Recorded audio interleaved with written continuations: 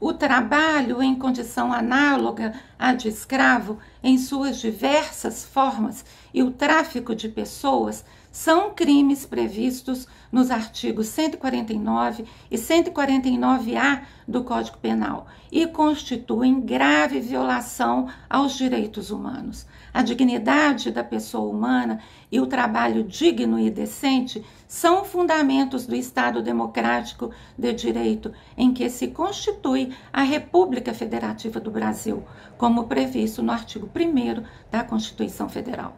Mas não basta a tipicidade penal da conduta ilícita, não basta a atuação singular das autoridades para coibir essa úlcera maligna que ainda contamina a nossa sociedade. O combate a esses crimes desafia a atuação conjunta, não só das autoridades e instituições, mas também dos cidadãos, que têm papel importantíssimo nas denúncias que levam à investigação e, ao final, ao resgate das vítimas e punição dos criminosos.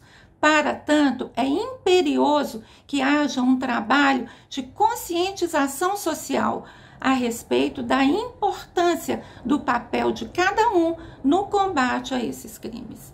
O Tribunal Regional do Trabalho Mineiro, por meio do programa de enfrentamento ao trabalho escravo e ao tráfico de pessoas e de proteção ao trabalho do migrante, encontra-se empenhado em atuar nesse processo de esclarecimento e de conscientização social sobre a escravidão moderna e os meios de combatê-la.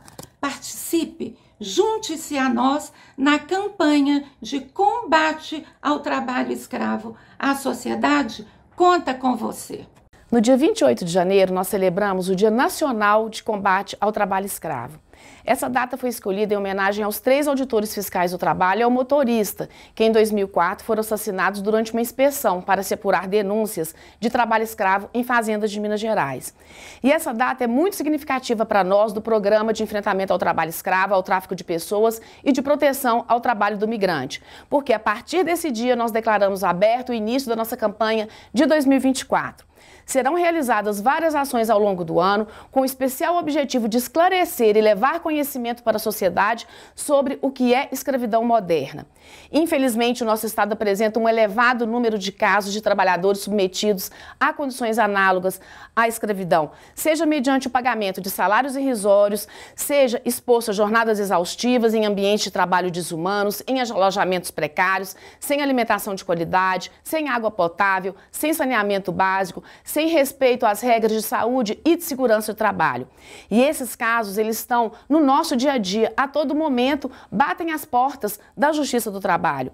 É por isso que nós convidamos vocês para participarem da nossa campanha. Venha, junte-se a nós, Conheça o que é escravidão moderna, saiba identificá-la e diga não ao trabalho escravo. Vamos juntos!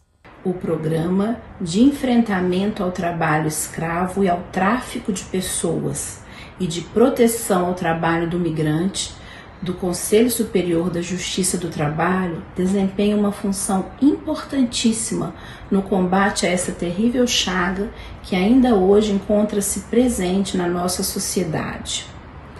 O trabalho em condições análogas de escravo, além de importar numa exploração desumana da pessoa trabalhadora, muitas vezes representa uma concorrência desleal com o empregador que efetivamente cumpre a legislação, pois não raras vezes o trabalho em condições análogas de escravo é usado como uma forma de diminuição dos custos da, produ da produção.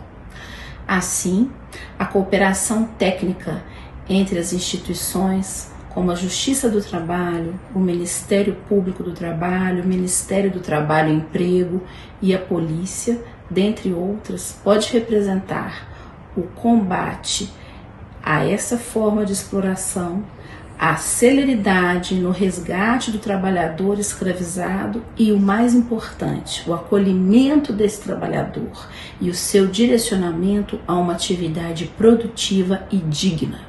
Escravidão moderna, uma chaga que deve ser combatida. Todos juntos no combate ao trabalho escravo. Segunda vice-presidência do Tribunal Regional do Trabalho da Terceira Região e Escola Judicial.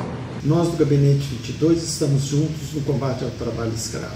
Todos juntos contra o trabalho escravo, inclusive o programa de combate ao trabalho infantil. Todos juntos contra o trabalho escravo. Bem, nós da Polícia Militar é, recebemos o convite do Tribunal Regional do Trabalho, Terceira Região, para integrar um grupo que vai analisar exatamente qual é o protocolo ideal de atuação das forças do sistema de defesa social, sejam do nível federal, do nível estadual, e isso envolve a Justiça do Trabalho, a Polícia Militar de Minas Gerais, a Polícia Federal, a Polícia Rodoviária Federal, a Polícia Civil do Estado de Minas Gerais, é, e todos que têm um interesse comum, que é tirar Minas Gerais desse ranking de estado onde a, o trabalho escravo prepondera. É, estamos no ranking há cinco anos é, como um dos estados com maior problema de trabalho escravo. Isso se deve também ao trabalho exitoso do Ministério do Trabalho e Emprego, que atua fortemente e identifica esses casos, trazendo né, à tona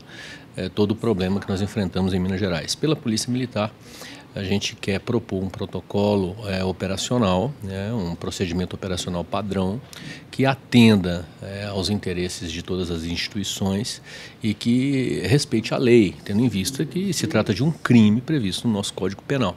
E a Polícia Militar já registra casos como esse, mas não é o foco principal da Polícia Militar.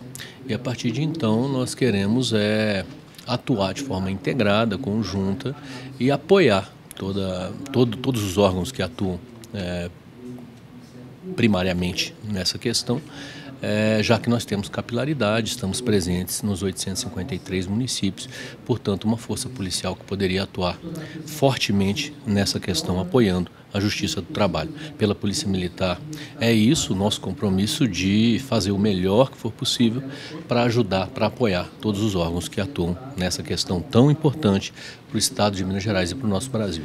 Trabalho escravo é uma grave violação de direitos humanos e ocorre atualmente de forma diferente da escravidão dos períodos colonial e imperial, quando as pessoas eram presas a correntes e açoitadas. Hoje, o trabalho escravo é crime e ocorre pela submissão a trabalhos forçados, a jornadas exaustivas, à sujeição a condições degradantes ou restrição da locomoção por qualquer meio. Vamos juntos lutar pela conscientização e erradicação do trabalho escravo. Vamos todos juntos no combate ao trabalho escravo contemporâneo. Estamos todos juntos contra o trabalho escravo. Estamos juntas no combate ao trabalho escravo. O combate à escravidão contemporânea depende não só das autoridades públicas e políticas públicas, como da sociedade civil. Juntos nós vamos conseguir erradicar essa prática criminosa tão perversa. Estamos na luta contra o trabalho escravo. Seguimos juntos no combate ao trabalho escravo. Somos todos contra o trabalho escravo. Vamos nos engajar nessa luta. Estamos todos juntos no combate ao trabalho escravo. Combater o trabalho escravo é reafirmar a nossa própria dignidade humana. A Amatra 3 participa do programa do combate ao trabalho escravo. É a prática de submeter pessoas às condições de trabalho degradantes e desumanas. Diga não ao trabalho escravo.